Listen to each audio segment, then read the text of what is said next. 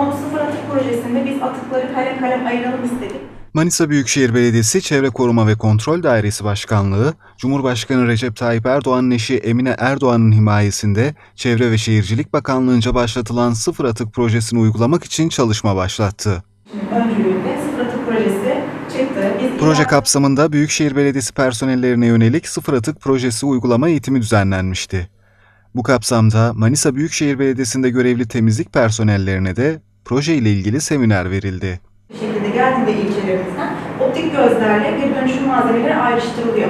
Semineri Manisa Büyükşehir Belediyesi Çevre Koruma ve Kontrol Dairesi Başkanlığı Atık Yönetimi Şube Müdürlüğü personellerinden çevre mühendisi Birçe Türk verdi. Değerli malzemelerimizin çöpe gitmeyip ayrı bir şekilde toplanıp geri kazandırıldığında ne oluyor? Kağıtlarımız için biz yeni bir kağıt elde etmek için ağaç kesmiyoruz. Seminerde çevre mühendisi Birçe Türk sıfır atık projesini anlattı. Türk, eğitimde israfın önlenmesi, atıkları geri kazanarak ekonomiye katkı sağlanması, atıkların kaynağında ayrıştırılması, atık miktarının azaltılması, doğal kaynakların verimli kullanılması gibi konu başlıklarına değindi.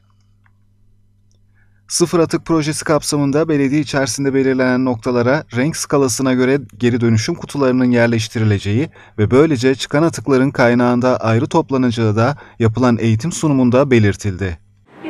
Dikkat çekici olsun. Hani hepimiz bunun bilincinde olalım. Temizlik personellerine ayrı toplanan atıkların ne şekilde toplanması ve depolanması gerektiği de anlatıldı. Ayrıştırılan çöplerin ne şekilde dönüştürüleceği hakkında bilgi veren çevre mühendisi Birçe Türk, hem doğanın kazanacağı hem de çevre bilincinin aşılanacağını vurguladı.